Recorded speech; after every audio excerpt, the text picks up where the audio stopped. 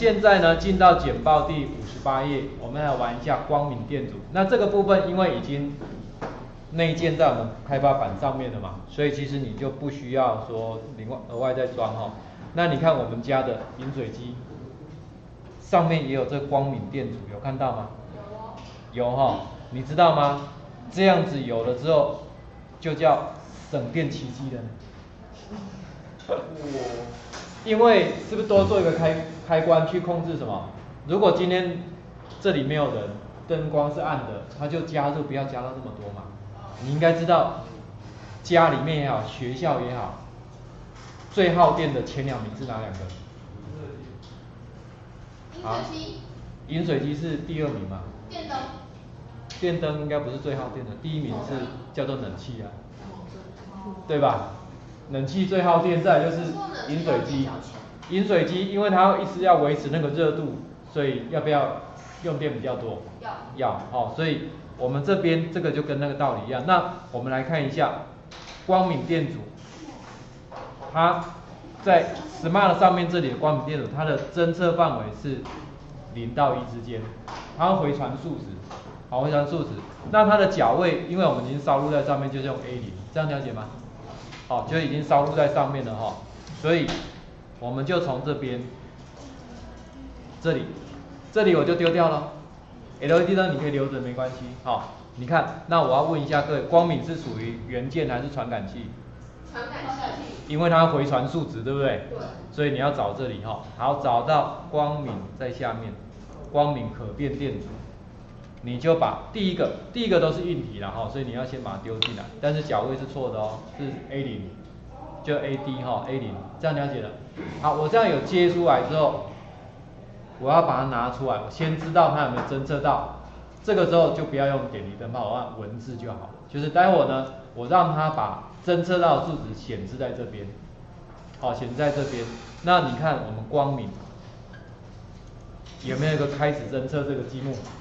你把它丢出来，那丢出来之后要怎么样把它的内容显示出来？我要显示在这边，这边是网页互动的，所以你就要找下面的显示文字。好，来这里就有显示。好，我要把它显示出来，显示什么？你侦测到的数值是不是这个？不对。这个。哦，这是土壤的，好聪明。这个有没有？我要把它丢出来，这样就好了。所以我 play 一下，哎，有没有看到了？有看到了，对不对？哎，你有没有觉得这样数字看起来比较可怕一点？请问是几位数啊？你有没有算看看，这样到底在几位数？眼睛会花掉吧？应该有十几个吧？对不对？应该有十几个啊。好。那这个呢？如果我们这样看，是不是稍微不是那么方便？因为它是取的零到一之间嘛。对。我们可不可以把这个放大一下？因为我们平常比较习惯，是不是大概就是零到一百之间，百分比的那种方式？所以，刚刚那个数字小数点后面很多，可以先四舍五入吗？小时候都学过，你看一下上面这里，进阶功能。对。有没有叫数值转换？这里小数点几位？其实基本功能里面也有一个类似的数学式，有没有一个叫四舍五入？可是这边的它没有到小数点，它只有就是四舍五入完就整数了。好，所以我们就不用这里，我们用进阶功能的进阶功能里面的数值转换，你就把它丢出来，告诉他我要帮你转换一下。但是如果你是零零位的话，你应该知道最后结果只有两种。一个是零就关机嘛，好，所以你要给它两位数，这个时候我再 play 一次，有没有看起来比较没那么可怕的？不好哎，但是这样子还是小数点嘛，对，所以我们再多做一个，一样是数值转换。你们在看那个地图的时候，应该都有看过一个东西叫做比例尺，有没有？有。有嘛哈，这这距离多少代表真正的距离多少？就是这个东西啊，尺度转换，原子是不是零到一之间？我把它转换成零到一百之间，这样是不是就放大了？好，所以我就再把它丢出来，丢出来，然后呢，小数点取得两位之后是我原始的值，所以我们再 play 一下，这样是不是就看到了？然后呢，我就来这边，所以你知道我们现在的光度大概是多少了吗？如果我来这边遮一下，有没有变少？有。打开。那如果要更亮怎么办？照光。你怎么那么聪明？手电筒拿来啊！啊，不然我不能走到这里吗？你怎么？哦，太亮了。哎，我用行动电源为什么不能走来走去的？对不对？